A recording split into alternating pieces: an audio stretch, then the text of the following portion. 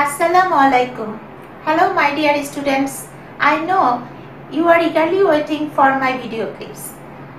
I hope my video lectures would be beneficial or conducive to your study. Your SSC exam is very close to you.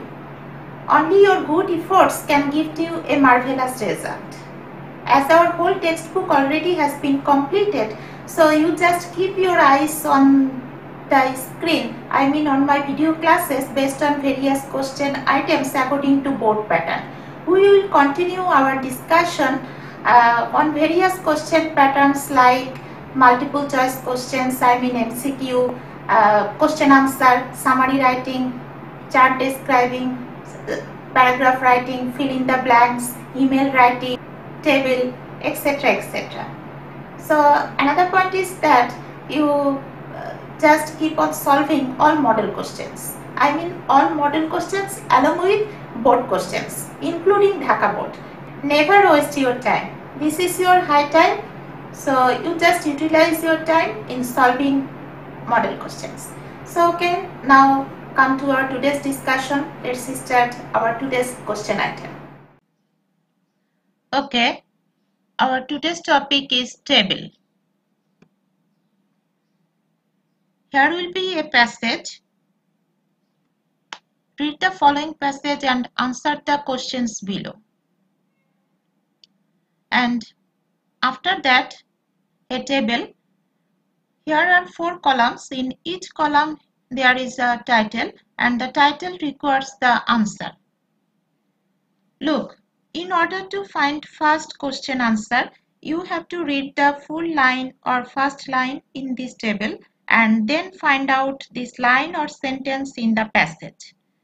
And following the sentence, you will get the answer sequentially. Okay, so let's start reading the passage. Read the following passage. John Milton was one of the famous poets in the English literature. He was born on December 9, 1608 in London.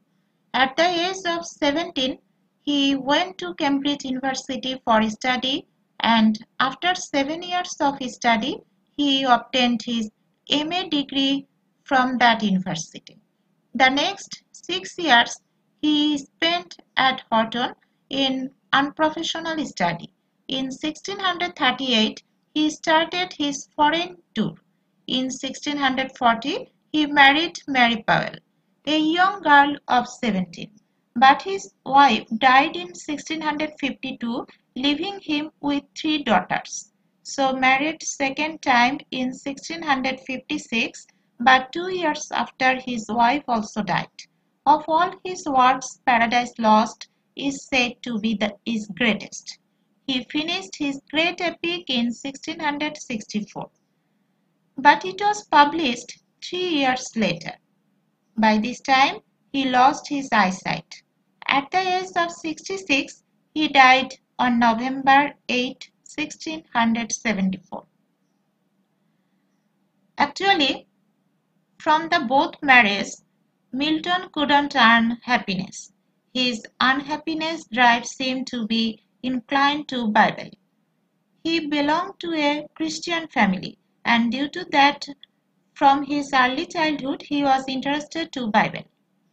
Paradise Lost is an epic, that means long narrative poem, which had been immersed from Bible and was written by one of the greatest poet uh, of 17th century named John Milton. This Paradise Lost was published in 1667. Here written, look, he finished his great epic in 1664, but it was published three years later. So three years later, that means 1667 that was published.